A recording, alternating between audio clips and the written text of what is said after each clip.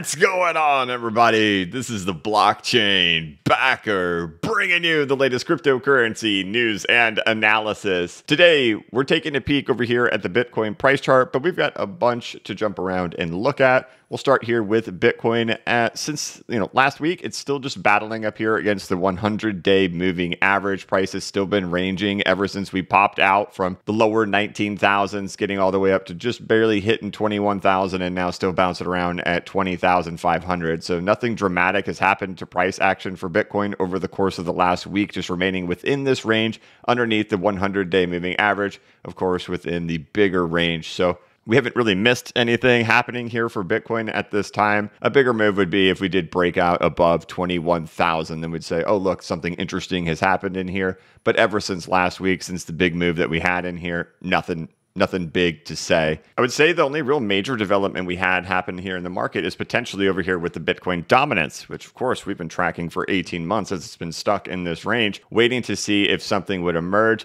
Last week we were talking like, hey, you know, this is the perfect time for some type of catalyst to emerge, whether it's the puppet masters pulling the puppet strings, God, or simulation, but we're prepared for some type of catalyst to emerge here because in this type of ranging structure, this is the final point, right? We're at the end is this the breakdown to happen in here? I don't know if we have seen a catalyst happen yet. There's definitely been interesting things happening. But when we look at Bitcoin dominance, what are we saying? We're saying that if the Bitcoin dominance is going to go down, then altcoins would be outperforming Bitcoin collectively. And as you likely know, this is what a lot of the crypto charts look like out here in the cryptocurrency market and in the altcoin market. But Sure enough, there you go. As you probably have heard, Dogecoin has taken a bump every time Dogecoin comes up on the screen. Really? Are we talking about Dogecoin? Only when there's something crazy happening. But we can see that the price has moved up drastically, a big firing out in just a matter of a couple of days. We can look through the market to see that most things look like this. And that was actually the same setup that XRP had before it broke out of its range. But sprinkled all throughout the market is what a lot of these do look like. So I posted about this on Twitter over the weekend. 24 weeks of torture gets wiped out in a matter of five days. That is so common in crypto. People wonder how can you remain positive during the negative time periods? And I tried to remind people of this when we were really in the excitement phase back in 2021 that we spend most of our time like this in the cryptocurrency market. It's very clear on the charts. You can go out and just zoom out, even if you want to look at just Doge to say, to understand your time spent in this market, is that look how much time is actually spent in bull runs and here, and then look how much time is spent in torture. And then when you look at the moments of the actual excitement that happen in here, that's your excitement phase. That's your excitement phase. And that's your excitement phase. But otherwise, from a time perspective, look how much more time is spent like this. Look how much more time is spent like this. So the exciting times are short lived. And so a lot of times I have to go into it thinking, this is just how it is most of the time. And that eventually something big eventually does come. And what will happen, usually, of course, we all know once the excitement comes, they're unwilling to buy it low. They will only buy it high. But I'm not here to do do on Doge. I don't know if this is the end of the move for Doge. I do know that when XRP had the exact same structure, it got paused out and it's been reaccumulating at this point, or at least it wasn't able to get much further. So as Doge has done a similar move, I think the same. Of course, a lot of people will say, well, it's because Elon bought Twitter. Okay, whatever. you know, narrative showing up when they're supposed to. But I highly, I highly doubt this would be just a Doge move. Do I think it's showing up at great timing? For sure. Do I think Doge is going to take over the whole cryptocurrency market?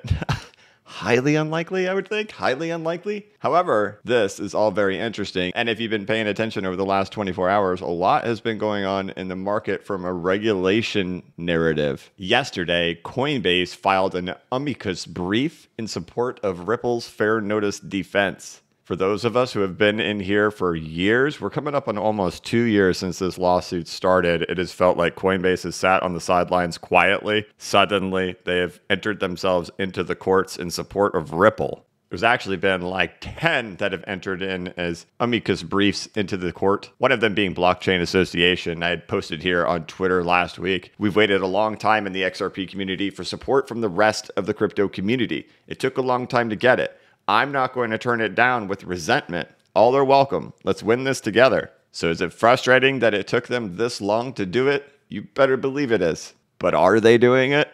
They are. So typically narratives aren't that predictable, but we're definitely seeing massive amounts of the big players in the crypto ecosystem come out in support of Ripple in the courts to be a friend of the court in support of Ripple. And you may be wondering if this has more to do with Ripple or with XRP than the whole crypto community. Well, if Ripple loses the lawsuit and, you know, they can't use fair notice, then every crypto out there is in extreme danger. And for us who have been in the XRP community following this whole thing for so long, we kind of recognize that situation that's happening there. There's been a lot of tribalism in the market of, you know, forget about Ripple, forget about XRP, who cares? Not recognizing the consequences of what would happen in this court case if Ripple is to lose. But we also recognize that if Ripple is able to win and if they're able to get clarity, that's good for the whole market. So XRP community members might have an advantage in the market by understanding that but we just have to wait and see if anything develops from it. Again, we look at the charts here on the channel, right? What are the charts telling us? The charts are telling us if this structure is true,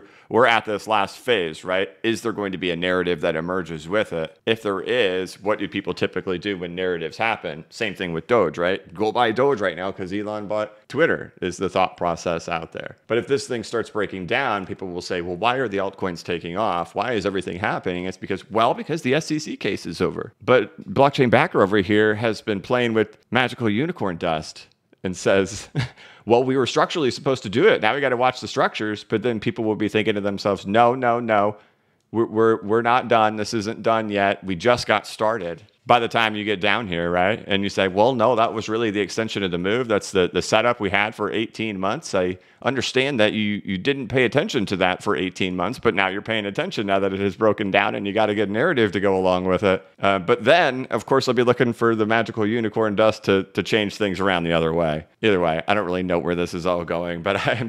Last week we were talking about looking for some type of narrative to emerge. What are the things that have have, have happened since that video of saying waiting to see if some type of a narrative emerges? Is one, Elon completes the acquisition of Twitter and Dogecoin pumps, and two, Coinbase just filed an amicus brief in support of Ripple.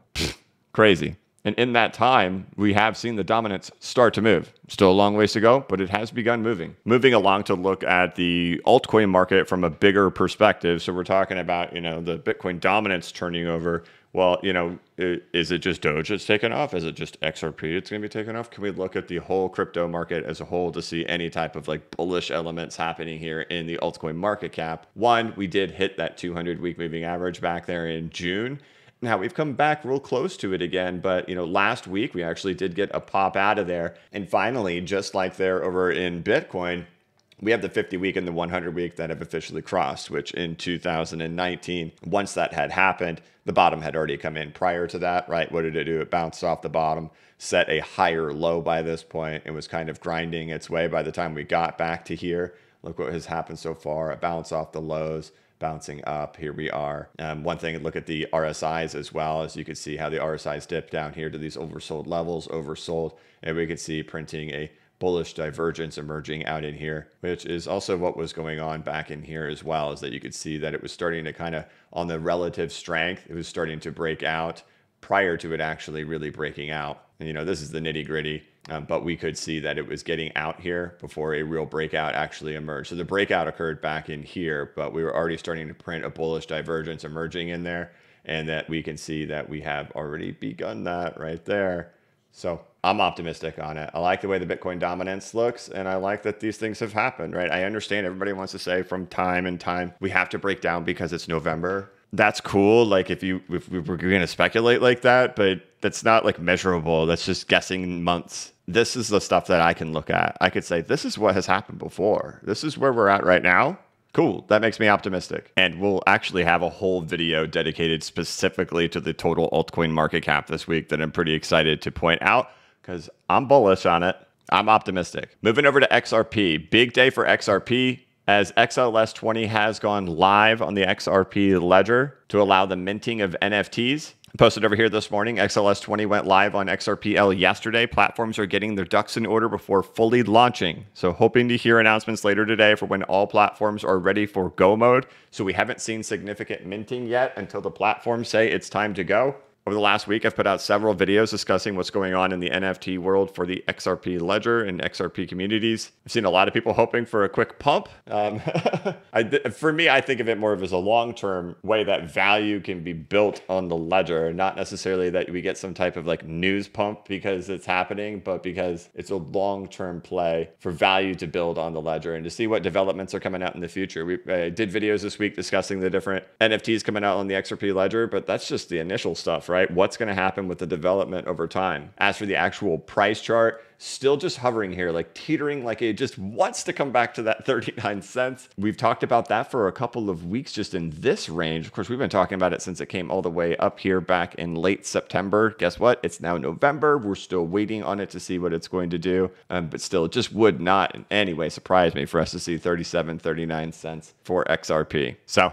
in summary, the last several days, right, we've gotten through the weekend, we've closed out the month, we've closed out the week. What we saw is we saw Bitcoin dominance is starting to make a slight move to the downside. We saw Dogecoin pump significantly. We've seen bullish divergences emerge over there on the total altcoin market cap as it still continues to maintain the 200 week moving average and maintain the lows. We've seen several companies and big players in the cryptocurrency market come out in support of Ripple in the courts, filing amicus briefs and at the same time, XLS20 has gone live over there on the XRP ledger. Hopefully by today, minting will really get going. I'll keep you guys updated on that. Trust me, I'm watching it like a hawk to relay that to you guys. Otherwise, nothing wild in price action, lots of ranging. Now that it's a new month, and monthly candles are closed out. We'll see how the month starts out, and we'll see if we keep getting more filings and more news coming in in regards to Ripple. Keeping this video relatively short since not many significant changes outside of Doge pumping and the Bitcoin dominance starting to fall. But at the same time, we do have some news events that have happened. XLS20 went live,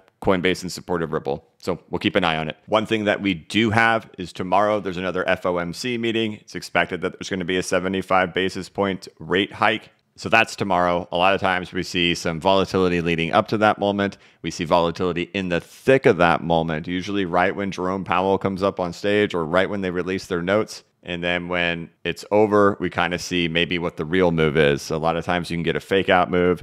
Um, but expect it likely. What we have seen historically is volatility into that actual moment of the meeting tomorrow in both broader markets, and that usually translates into the cryptocurrency markets. But we're still just kind of sitting back waiting for that to happen. All right, guys, that's going to be it for this one. I'll check in with you soon once I have more information on XLS 20. Otherwise, I hope that you have a great day. I hope you had a safe Halloween.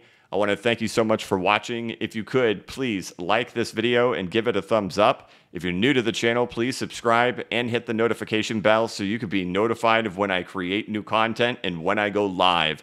As always, this is not investment advice and I am not a financial advisor. But if you ever need a pick me up or a little bit of reassurance, just remember that the blockchain backers got your back. Have a good one.